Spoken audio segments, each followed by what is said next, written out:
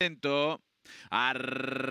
Arrancan las competidoras de la primera competencia de esta semana en Goffrin Park. Retrasa la yegua Valia, se queda en el último puesto. Saltar rápidamente Buck and Beauty a tratar de tomar la punta. Junto a ella aparece Hidden Row. En el cuarto intenta acercarse Constitutionalis. Luego lo viene haciendo por la baranda Erins Moment. Más atrás se queda en el quinto Karen's Honor. Más afuera viene quedándose Tinka 2. Mientras que el 5 Valia se ha quedado en la última colocación. Buck and Beauty está delante. Ventaja de cuerpo y un cuarto sobre Constitutionalis que está en el segundo en 22-1. El primer cuarto de milla. Tinka 2 viene pasando el tercero. En el cuarto se queda Erins Moment. En el quinto intenta hacerlo por fuera de Row. Más atrás está la lleva Karen's Honor. Mientras que el 5 la lleva Valia. Continúa en el último lugar. Van al giro de la última curva. Buck and Beauty con Tyler Gafaliones se mantiene en la punta cuando van a ingresar ya a la recta final de Goffrin para ataca Tinka 2 por fuera y trata de colarse Erins Moment por la baranda. Buck and Beauty se escapa con dos cuerpos y medio. Ahora tres en el segundo Erins Moment.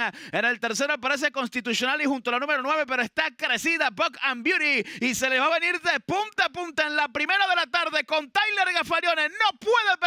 Ganó Buck and Beauty. Segundo Aris Moment, tercero en pasada final para Karen Honor, cuarto Constitutionalis.